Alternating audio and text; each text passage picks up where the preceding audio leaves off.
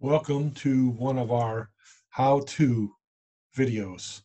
Uh, the one I'm doing this afternoon is what in the world are all these small groups at our church? You know, I see these posters on the church wall. We'll be showing you those in a minute here. What is a connect group? What is a get-together group? What is a 40-day adventure group? How do they relate? Do they all go on at once? Which one should I pick? Why would I want to attend one? Well, if you have a few minutes here, let me explain. Now, we know that the Bible clearly states that we are to be in relation to not only our Lord and Savior, but also, as Mark 12, 30 and 31 tells us, quote, and you shall love the Lord your God with all your heart, with all your soul, with all your mind, and with all your strength. This is the first commandment. And the second, like it, is this you shall love your neighbor as yourself. There is no other commandment greater than these. Now, the Bible further clarifies our neighbors into several categories, one of them being our fellow brothers and sisters in our local assembly. In fact, the Bible gives specific commands how to interact with our local assembly brothers and sisters. We find many of these commands in what we call the one another's. Now, you may ask, you've probably heard that term, but you may ask why they're labeled that way.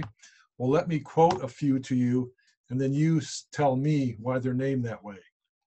John 13, 34, and 35. A new commandment I give to you that you love one another as I have loved you, that you also love one another. By this, all will know that you are my disciples if you have love for one another. Romans 12, 10. Be kindly affectionate to one another with brotherly love and honor, giving preference to one another. How about Romans 15 14? Now I myself am confident concerning you, my brethren, that you also are full of goodness, filled with all knowledge, uh, able to admonish one another. How about Galatians 5:13? For you, brethren, have been called to liberty, only do not use liberty as an opportunity for the flesh but through serve, but through love, serve one another. So do you, I know a little bit over the top, but do you see why they're called one another's? And there's anywhere between 50, 60, 70 more of these in the New Testament. Okay, so think about this next question. Since we're commanded, in each of these were commands, to do these things, where and when can we do them? Can you do this during the Sunday school? And church service? Well, partially maybe in the Sunday school and then maybe in the church service, but you really can't do a decent job of doing these, especially to more than one person at once.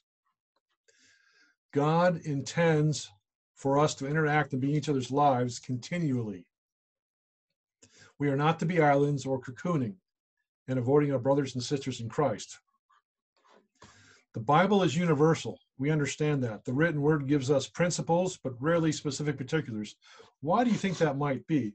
Well, because it was written to first century people, it was written to second century people, it was written to, to middle aged people, the Middle Ages. It was written to us 21st century people. It was written to Asians, Americans, Africans, Europeans, city folk, country folk. You get the picture? So it's up to each local assembly's leaders, the Lord's wisdom and the Holy Spirit, and much thought and prayer to come up with the method that is biblically accurate and also fits the local time and place and accomplishes what God wants us to do. And that's what we've done with our what we call our connect groups. We've attempted to provide an environment and an atmosphere where iron can sharpen iron and where we can practice the one another's on each other so we can grow spiritually. Is also an answer to the Lord's command to make disciples. I don't know if you thought about this or not, but we're in effect discipling each other in a group setting. Now, it, obviously, it's not as efficient and as, as effective as a one to one discipling situation or a couple to couple, but understand this it is a first step for many people to expose themselves to this type of situation. And a lot of people go from this situation, connect groups, into a one-to-one discipleship situation. So what are these different groups? Well, let me see if I can pull up my PowerPoint here and uh, show you here. Okay, share the screen. Okay, we you've seen this on the wall. We have three different things here: get connect groups, adventure groups, and get together groups. Now, the connect groups were the original things. These meet weekly. Uh, it's basically a six month commitment. We start these mm, around Christmas time, sometimes before, and it goes through the month of May. Uh, normally, it's a group of six to 12 people. It can be singles, it can be couples. Uh, we have one ladies group, ladies only group, and it's spiritual growth discussion. And normally, with these connect groups, we talk about the previous week's sermon, and we have some questions to help the discussion.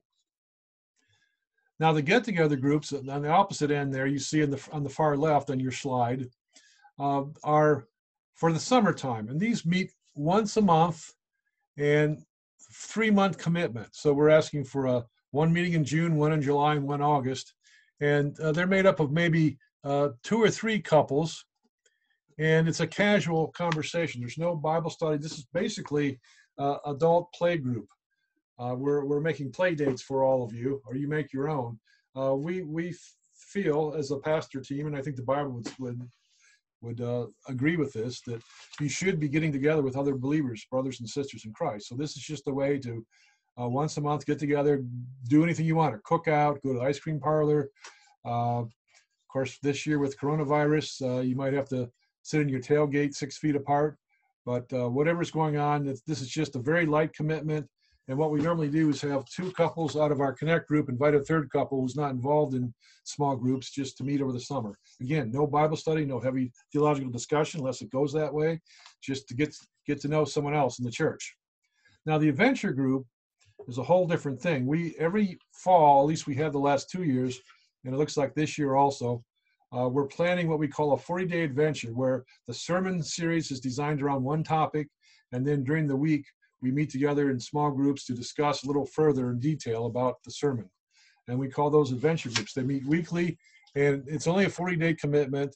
And this is the way a lot of people first get into uh, small groups, actually. Uh, six weeks, they promise to meet, and it's uh, eight to 10 people. And again, we discuss the, the content of the adventure that we're talking about, whatever the sermon thing is. So hopefully that helps you understand a little bit more about why we have different types of connect groups. And again, since these are just methods trying to follow biblical principles, they could change in the future. I want to end with this Jesus lived his whole adult life in community with his disciples. The question is, how will you live your adult life? Let me quote 1 John 2 6. He who says he abides in him ought to himself also walk just as he did. Again, that's up to you and the Holy Spirit, but I hope this helps. Thank you very much, and goodbye.